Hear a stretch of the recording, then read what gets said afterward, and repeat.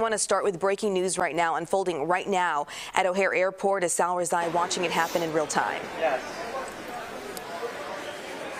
Yeah, Audrina, Ryan, obviously we're here this morning reporting on holiday travel, but things taking a turn here literally within the last five minutes. I want to take a step out of the screen here so you can see exactly what is going on. You'll notice here uh, Bomb Dog is walking across right now. So within the last five minutes or so, we were actually right in the middle of that part of the area that you see that is sectioned off. You see they're telling people to get out of this area. Police asked us to move. We thought we were just in the way, but it turns out they got a uh, notification of some sort of a threat here. We do not know specifically what kind of threat.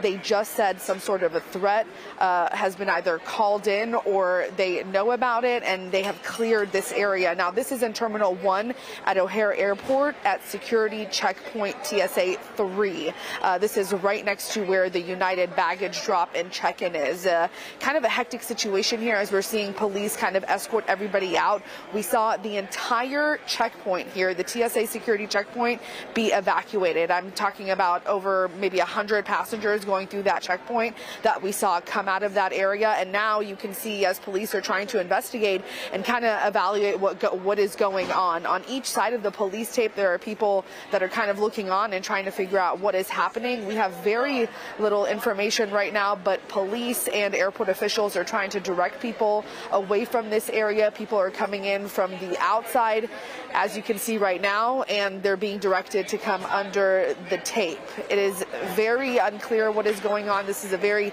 fluid situation. We're going to obviously keep rolling on this live and stay on top of the story and try to get down to the bottom of exactly what is going on here.